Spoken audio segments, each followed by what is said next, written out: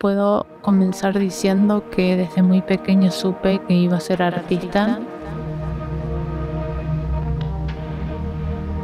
Siempre siento una, una emoción, una, una cosa adentro, chispas adentro, mariposas en el estómago o, algo así.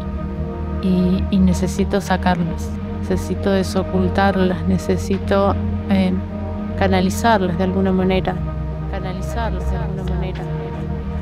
Supongo que es, es la vida, nacer y morir y todo lo que hay en el medio. Y eso está lleno de misterio, de incertidumbre, de, de cosas que uno no, no puede comprender y, y, creo que se trata de, de querer comprender eso. Para mí el arte es eso, querer comprender el mundo y la vida y el ser humano, obviamente.